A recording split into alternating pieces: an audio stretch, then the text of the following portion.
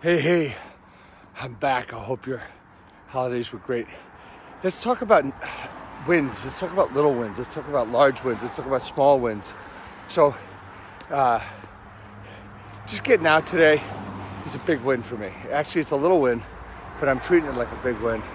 Uh, just, it is. Just getting out and running.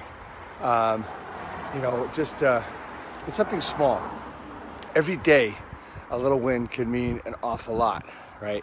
So it's depending on what.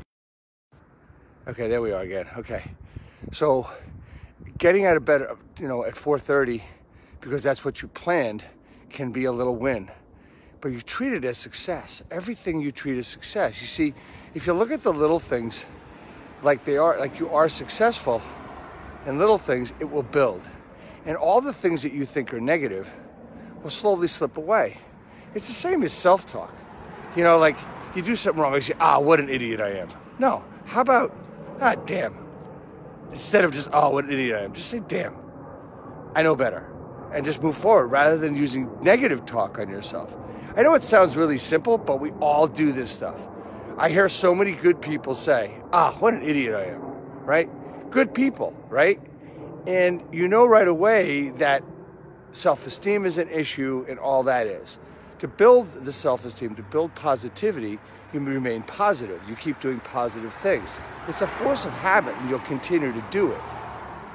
If you commit to something, let's say it's weight loss, let's say it's getting into better physical condition, let's say it's making more money, put them all together and do them as a group, right? So, weight loss, physical activity, which means your body's going to get stronger. You're going to burn fat, right? This is not a diet I'm talking about. This is the, the word diet is so misused, right? It's your diet, right? You can't work out a bad diet. So if you have a good diet and good exercise routine and good work routine, everything's going to be positive, right? So every day that you do something is a success. Every day that you follow and keep to that commitment, no matter how small, is a success. So, my point to you today is keep your successes in check. Forget failure, it doesn't exist. Either we succeed or we learn.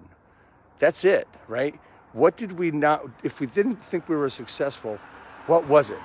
What did we learn from it, right? So today it's, I didn't want to get up even though I was awake, right? But I got up 30 minutes later than I wanted to, but I did, right? Some people say I'm getting up in the middle of the night anyway. So my point is this every little thing is a success. Go for it. Dave Fanale here.